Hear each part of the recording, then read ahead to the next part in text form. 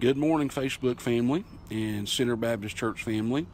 I um, wanted to start something a little different this morning um, and uh, just calling it maybe devotions from my deck.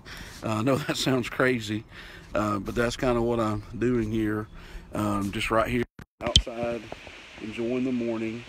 Uh, the sun's starting to want to come up a little bit. And I'm just going to take just a few minutes to share with you um, what God's speaking to me every morning. And um, and love getting into God's Word, need to get into God's Word. And so I've been in uh, John uh, for the last, I guess, last several months, leading into um, Acts. And I, have just kind of circled some things um, in John. What really spoke to me the other day, John chapter 20, um, because here was Jesus had just been resurrected and yet the disciples were unaware still of the power of the resurrection. Um, they knew the tomb was empty.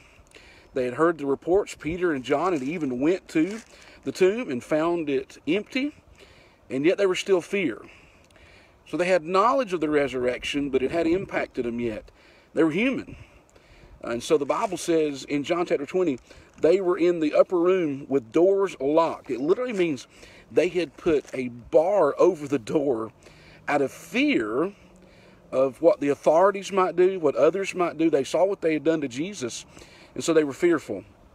But the Bible says Jesus stood in the midst of them. I want you to know that no locked door can stop Jesus.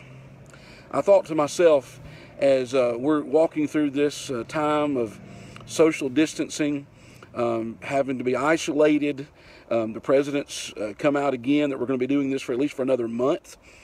And we are in our homes and we are fearful at times, fearful to go out, fearful to uh, have contact with others, not knowing who may be carrying the virus or not.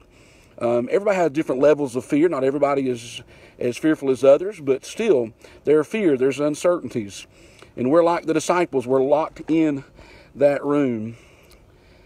But nothing stops Jesus. See, we can't meet like we'd like to meet. We can't be in our businesses like we'd like to be, schools.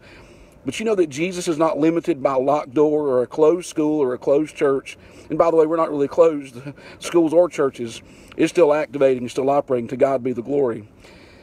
But Jesus comes, and I want you to notice what he did. He, he didn't sit there and go, What are you doing fearful in this locked room?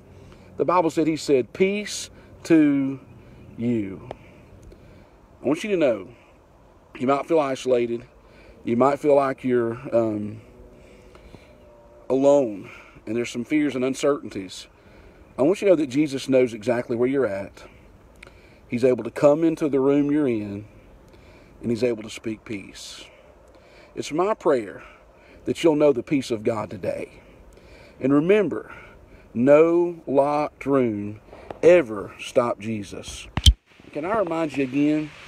See, just peeking up over the corner over there, that sun's coming up. It's a new day, and His grace and His mercy is new today. May the Lord bless you. May the Lord encourage you. In these times, have His peace and know He comes to you right where you're at. May the Lord bless you today on this day.